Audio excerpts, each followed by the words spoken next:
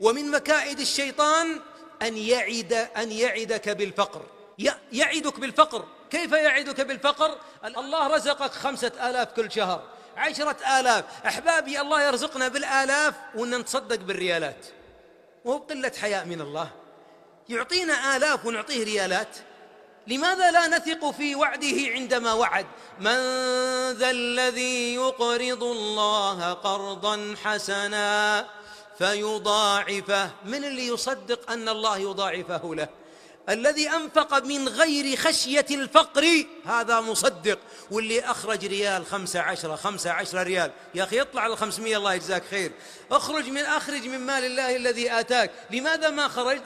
الشيطان يعدكم الفقر. الشيطان يقول لك إذا طلعت الخمسة آلاف وباقي خمسة ترى مالك راح نصفه.